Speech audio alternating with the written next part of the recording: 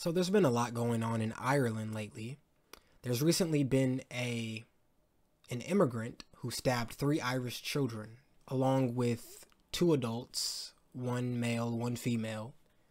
The immigrant was a man from Algeria, and as you could imagine, the people of Ireland weren't very pleased with this. They were upset, and rightfully so. Nobody wants someone who's not even from their country coming into their country and stabbing their children. Within the last year, there's been over 100,000 migrants who have come to the country of Ireland. So the people of Ireland are now experiencing this mass immigration and they don't like it. Especially not now, after this Algerian man stabbed five people, including three children. And this incident doesn't stand alone. There's been a lot of crime associated with this new wave of immigrants who have been coming to their country. So mass immigration is starting to have huge effects on Ireland and UFC fighter, former UFC champion Conor McGregor has been very vocal about this issue. He's been very vocal about the fact that Ireland needs to crack down on this wave of migration that the country is seeing. So, anyways, you have this Algerian immigrant who stabs three Irish children, and in response to the stabbing, the people of Ireland hold a very large protest, right? They're in the streets of Dublin, Ireland, and they are being very vocal about how this immigration wave needs to be put to an end. It needs to stop. And rightfully so. They want to protect their children, protect their families, and they want Ireland to be the Ireland that they know and that they love. And so when you see new waves of crime on the rise, and there's a direct correlation to the new wave of immigration on the rise. Anyone who loves and cares about their country would say, hold on, wait a minute. Let's really evaluate the situation here. Something's not right. This has to stop. And that's what Conor McGregor has been saying. But, anyways, as a response to the mass protest that were held in Dublin, the police commission, commissioner um, in Ireland condemned the protest.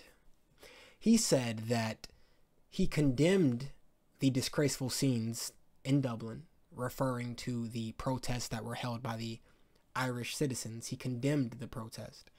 He claimed that a hooligan faction driven by far right ideology is behind the violence on the streets. So, according to this guy, Drew Harris, the large protest put together by the angry and rightfully so, the rightfully angry Irish citizens. It wasn't due to the fact that some Algerian man is stabbing Irish children. It wasn't due to the fact that there's a rise of crime in the country. It wasn't due to the fact that people want to protect their kids. No, according to him, all of this is just a result of far right ideology. Have you noticed that when people do something that doesn't align with the leftist worldview, they're automatically labeled some type of far right radical? But anytime the left seems to do something, such as burn cities down to the ground or vandalize monuments and statues, of the heroes of the country that they're in. Hurt people, injure people, threaten people. When the left seems to do these types of things, the media, the establishment, they never have any interesting names to call them. Matter of fact, they're usually congratulated. They're usually supported. They make excuses for them. But when people who don't agree with those people doing those things do something that isn't even remotely as bad as what these people consistently do, they're automatically labeled far right, radical. The left gets away with so much, but anytime something doesn't align with the leftist ideology, that group of people, they just get completely pummeled by the media, the establishment, etc. Anyways, as a result of this ridiculous statement that came from this Irish police chief, Drew Harris, Conor McGregor responded on X. McGregor said, Innocent children ruthlessly stabbed by a mentally deranged non national in Dublin, Ireland today. Our chief of police had this to say on the riots in the aftermath Drew, not good enough. There is grave danger among us in Ireland that should never be here in the first place, and there has been zero action done to support the public in any way, shape, or form with this frightening fact. Not good enough. Make change or make way. Ireland for the victory. God bless those attacked today. We pray. Now you see, Conor McGregor is upset, just like the people of Ireland are upset, and just like they should be upset and you would think that someone such as Chief of Police would sympathize or empathize, I should say, with the people of Ireland because he's Irish himself. That could have been one of his children. So you would think he would be able to empathize with his countrymen a bit more, but instead he immediately points the finger at them, ridic- ridicules and criticizes them for being angry Conor McGregor has been very vocal lately about how immigration is affecting his home country, Ireland. This isn't the first time that he has recently spoke out against something that is taking place in his country in relation to immigration. Not too long ago, about a week ago, McGregor um, spoke about the impact of mass migration is having on his homeland, remarking Ireland were at war in relation to the chronic housing shortage that has made basic living unaffordable for many citizens. Conor said, Do not let any Irish property be took over unannounced. Evaporate said property. It's a war, he added. And there's been a combination of other things that he has recently said in relation to immigration. Now, in my opinion, what I'm about to say here is the highlight of this video. It is the main story. Ireland is now investigating Conor McGregor for hate speech. Conor McGregor under investigation for online hate speech by Irish authorities. Former UFC champion and Ireland native Conor McGregor is reportedly under investigation for online hate speech linked to comments made on social media criticizing Irish authorities for their handling of a suspected Algerian immigrant stabbing five people, including three children, last week. It goes on to mention what he tweeted, right? The moral of the story is Conor McGregor is currently under investigation for hate speech. So that should tell you a lot about the current state of free speech in Ireland. You can be investigated and maybe potentially incarcerated or fined or whatever punishment they see fit just because you speak your mind, you vocalize your opinion, or you type your opinion out on X. In Conor McGregor's case, he's standing up for his country.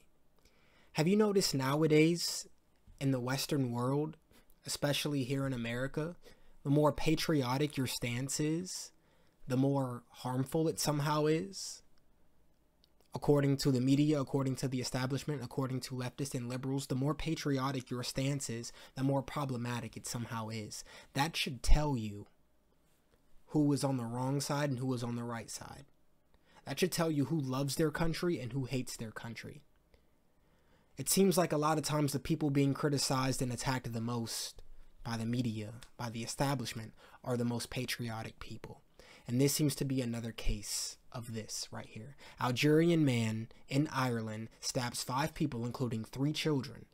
Now, Conor McGregor, who was upset about this because he doesn't want to see his fellow countrymen be stabbed or see their children be stabbed to death by random people who just came to the country, the fact that he's vocalizing his opinion about that somehow means he should be investigated. But hold on, that's not enough. They take it a step further.